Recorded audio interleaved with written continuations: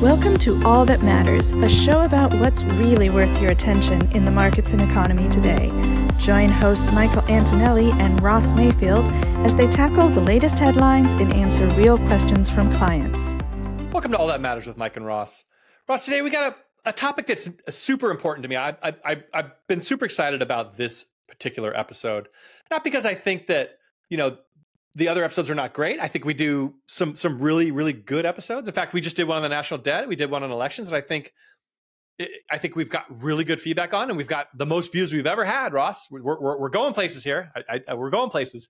Um, but today we're going to tackle a topic that I think is is not only important. I think it's basically your greatest challenge. We're calling this your greatest challenge, and that challenge is existing and investing in a world that's just kind of steeped in negativity and steeped in disinformation. And how can we as strategists and advisors and clients all navigate a world that's so treacherous in terms of information and, and what we read and what we see? So ross you know we're going to tackle this in three ways. We're going to tackle the current state of the world kind of how we view it a couple cool data points that we saw and then we'll talk about what you can do about all this. So ross you, you feel like this is an important topic right I think it's the I think it's the most important thing ever. Um, you know, we we know that long termism is rewarded in the market, and in in many ways, it's never been harder to take a kind yeah. of a long view of things because of the negativity and because of the kind of short termism uh, of the world we live in. Yeah, it's it's it's really really really difficult to to say to somebody, "Hey, save your money for twenty years," and and when you do, you'll reach all your cherished goals but but then not acknowledge that each day and month that goes by is super super difficult. So we're going to try to tackle that problem today. First uh, current state of the world. How we view the current state of the world why is it so difficult? Why is this so difficult? Ross i saw this tweet by a friend of the show Morgan Housel's. He said the four most dangerous financial traits are fomo so that's fear of missing out seeing something go and you want to be involved in it demanding certainty where none exists uh, impatience we, we talk about that all the time impatience i want to be rich now and then the last one, gullibility. So, of those four, which one stands out the most to you? Uh, off the bat, it, it's number two. It's demanding uncertainty in a world where there is none. Right? That's there never has been, there never will be, and yet we have to put our money to work for long periods of time, irregardless. Um, humans are we just we crave certainty and predictability, and the world is just unwilling to give it to us. It is the the kind of great irony uh, of you know humanity, I guess. Um, but yeah, you know, we have this hindsight bias. Everything in hindsight seems more certain or more obvious than it was at the time. Um, but there have been, you know, uncertainties throughout history that have made it really difficult to put money to work. Wars, inflation, pandemic, like it's all happened before. It felt uncertain at the time, and it feels uncertain today, and it will forever in the future. So, I, to me, that's the biggest one. What about you? I kind of like the last one. I, I, I like gullibility, and not because I think that everybody's just constantly being fooled or it's easy to just or, or, it's easy to pull the wool over our eyes and we're just we just kind of make these decisions. I think a dangerous financial trade is gullibility and, and to me that means that you you you soak up a lot of disinformation and think that it's real or somebody says something like the dollar's collapsing and you think that means you need to do something. Like it's it's very easy in a in a hyper hyper informed world to think that everything matters and that's that's just not the case. We actually named the series All That Matters because we wanted to just produce something once a month that actually matters to you. We could do this weekly, but would it all matter to you? Of course not. We're not trying to add noise to the world. We're trying to remove noise from the world and focus our, our viewers and our clients on what's important. So, gullibility, I think, is a dangerous financial trait, especially in a world that is as difficult to navigate as this. Why? Because human beings throughout throughout our history have have have been risk averse species. We are a species that has learned to run from dinosaurs or not touch fire or keep yourself out of danger, that gut feeling you have, that's your very risk averse brain trying to keep you out of trouble. What happens though when you take that kind of a species and you tell them, A, I want you to invest over long time frames, and B, you're going to get pumped with negativity nonstop. You are going to be literally inundated with as much negative news as we can give you. In fact, you actually get more news in one day than somebody in the 1800s did all year. Imagine that. Ross, how uh, like think about how much news you consume on a daily basis. Yeah, it's incessant. I, I start my day off with like 50 tabs open on my my you know Chrome tab, and I never get to a lot. There, there's endless amounts of information. You're right. We are here today as humans because we evolved this risk averse nature. We ran and we hid and we survived in today's world, it, it's not the same, you know, asset that it was a hundred thousand years ago. Yeah. And the way the world has evolved in just the last 20 years with, you know, social media and phones and 24 hour news cycle is completely counter to, to what that actually, you know, has trained us to do. And so it creates this friction that makes investing over long time periods really, really hard today. Um, yeah, I think so harder than probably ever in history.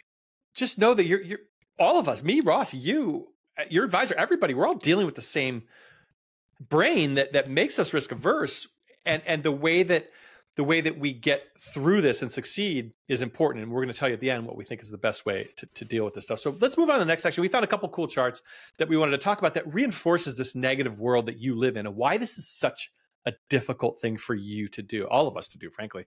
The first one is a, a pretty cool chart that says, you know, Americans who follow a certain kind of news, they were asked, you know, is that content negative or is it positive? So at the top, you'd see politics and government. Is that negative or positive? It's just overwhelmingly negative. Uh, you keep going down, you know, climate change, international affairs, business and economics. The top of this is all viewed by the people who watch it as negative. Okay, overwhelmingly negative. But at the bottom, you'll see things like sports, science and technology, arts and entertainment. You'll see that those are overwhelmingly positive right? Hey, I'm watching my favorite sports team. I get to I get to listen to some takes about that. Or hey, I'm I'm I'm watching something about you know a pop culture star. That's I, I view that as positive. So the people who Ross, the people who consume this content at the top, business, politics, it's all viewed as negative. And yeah, we keep going back to the well, right? It's this like endless cycle of this, this kind of doom loop of negativity.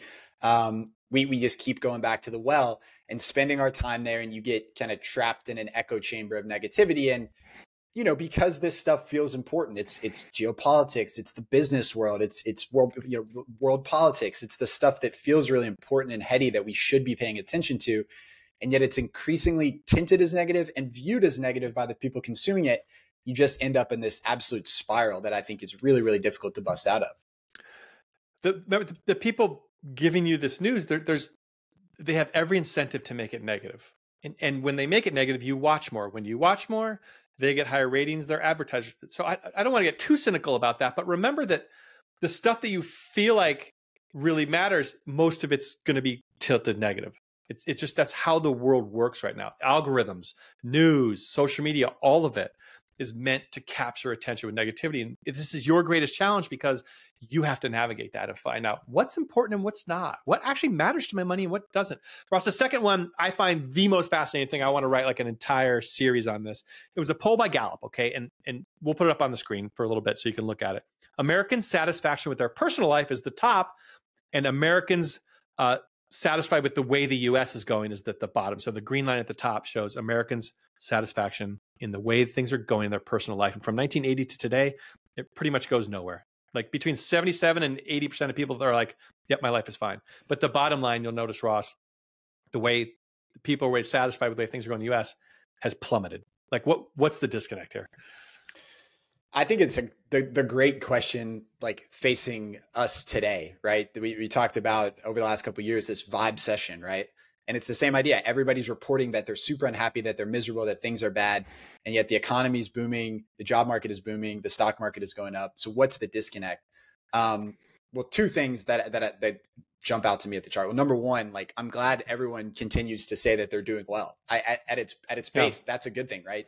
That sort of, uh, you know, positivity or good feelings about your own personal situation drive consumer spending and engaging in communities and like all the things that actually matter you know, as for how people view the world it, or, or, the direction of US, the US, yeah. it's really tricky. I mean, you know, it, it's it's kind of gone on a roller coaster over time. We've made a couple big bottoms recently, but the, the market guy in me says, look, it, it bottomed in the early 80s, the early 90s, 2009, 2020. Like those were great times to invest. That was right, you know, right at the most negative would have been the worst opportunity to get out of the market or to make a rash decision and go more conservative with the portfolio. So I don't know. I, I you know, there's a kind of declinism attitude, I guess. But I, it, it's really hard circle to square for me. I mean, what do you think? It's it's it's the most fascinating look into human behavior I can think of. I honestly look at it and I say, people are basically saying that my I'm fine. I, um, I'm satisfied with the way my life is going, my community, my church, the things around me. I'm satisfied with that. But when I look at it, things in aggregate, I'm dissatisfied with it. But how can that be? How can everybody be happy with the way their things are going, but in aggregate things are going poorly? again, this reinforces this thing that we were just trying to hammer home, which is you're going to be told things are bad because if if you were told things are good, you'd stop watching. If you think things are bad elsewhere, but things are fine for you, that should tick off your brain to say, how can that be? How can everybody seem to be okay around me, but in in the aggregate, we're all we're all mad. Oftentimes, Ross and I get caught up in things that kind of pull us apart from from the real person. And we try to fight that hard. Like we could look at economic numbers and be like this is fine this is fine. Where, where when somebody pays 12 bucks for bacon or gas is expensive that really hurts them. And we understand that and we try to stay in touch with that stuff and, and understand that dissatisfaction. So we're not here to say everything's fine. Why i don't understand why people are saying the us is bad but what the point we're trying to make is that the world that we that we occupy, the one that fights against you all the time, is going to always tell you things are negative, even if your neighbor thinks it's fine and you think it's fine and you're satisfied with the way things are going. It's just this weird kind of world that we all live in. So how do we let's move to the third part. How do we deal with all this? We've told you what what we think is your greatest challenge, given you some data around it and kind of wondered how this is all evolving and why it's all evolving, but how can we deal with this? And Ross, the first way I think we can deal with this is to be skeptical, right? Yeah. Um, look, I, I, I want to draw like a distinct line between skeptical and distrustful. This this whole exercise that we're going through and talking about is not anti-media, it's not anti-mainstream media kind of sentiment, but be skeptical. Mike is right about the disinformation in the world today, and that is not a problem that is going to get better with time. With the way, you know, the proliferation of AI and bots and social media, like it is very, very easy um, for disinformation to spread and for for people to get into kind of like echo chambers of that sort of disinformation. So be skeptical you know, look for different people with different worldviews, check sources, you know, that, you know, take it back to, back to basics of, you know, grade school, like cite your sources, check for, check for, uh, you know, other people. Are they saying the same thing? Is there difference of opinion? Are people putting off opinion as fact? Just be, uh, you know, a healthy skepticism in a world like we live in today, I think is going to go, go a long way in being a successful investor, to be honest with you. Yeah, I mean, one of the hallmarks of a great investor is a healthy amount of skepticism, not distrust, just a healthy amount of skepticism. If somebody tells you that the dollar is losing its reserve currency status, your default assumption should be skepticism. Why are you saying that? Why do you think that's true? What knowledge do you have? Why, why, how could it possibly affect me? Who are you essentially? Like you, you need to really take that with a healthy dose of skepticism because it just could be disinformation. It could be a coordinated attack on the US by our enemies. Like it could be anything. Just know that what you read, you have to have a dose of skepticism with. Another one I think is important, Ross, is kind of avoiding the trap of thinking everything matters to your money. I, I think you have to avoid that trap. Anything you see on social media or on the news, like thinking about a war, thinking about um, central bank digital currencies, thinking about social credit scores, all these things that just get thrown at us and against the wall, thinking that they matter to your money and to the profits of the companies of the United States of America. Okay. Talk it out with somebody, talk it out with us, talk it out with your advisor, talk it out with a friend. Surround yourself with a diverse set of views so you're not in an echo chamber. Young, old, um, different political ideologies, different socioeconomic statuses. What would you change your mind about if you grew up in a different way? These are crucial ways to think about the world. Crucial. You can't just assume that a piece of information is A, true, and B, it matters to your money. Okay. You have to have a healthy dose of skepticism. Ross, you know, you and I talk about this a lot, right? To, to, to surround yourself with with competing views, right? Yeah, yeah. Something that I've heard you say before, and I, I think is really valuable is you're kind of the average of the you know three to five people or views that are in your in your inner circle, right? So that could be a news source, it could be your your family, your your close friends, a, a you know a colleague that you talk to every day. Um, if those aren't diverse, yeah, you end up with an echo chamber but to your bigger point, I mean, so much of it just doesn't matter. Doesn't matter to the long term. I mean, your money is invested, most of your money, at least in theory, is invested for the long term. The shelf life of most of the news that hits Twitter or Facebook or even even you know the the, the news channels is is so much shorter than the shelf life of your money. Yeah. Um, and that's just it, it's it's a hard it's a hard dichotomy to kind of square there, but it, but it has to be the the thing at the front of your mind every time. Like, will I care about this news in five years or ten years? Usually, it's no. Yeah, which which brings up a good point I want to make to close this out, which is I saw this take uh, online. I, I thought it was phenomenal, and, and it was this. It says your most important resource, okay, is not money or time. It's actually your attention. and let's think about that just real quickly as we wrap up. Your attention is a finite resource, it's spendable. Okay. Think about where you're giving that attention to. Because if you gave all of your attention, which is your most, most important resource, to news and negativity and and and consuming a bunch of worries about the world, if you do that, it's going to make not only investing hard, but it's going to turn you probably into a cynic about the world. You're going to view the world negatively. It's going to change your worldview.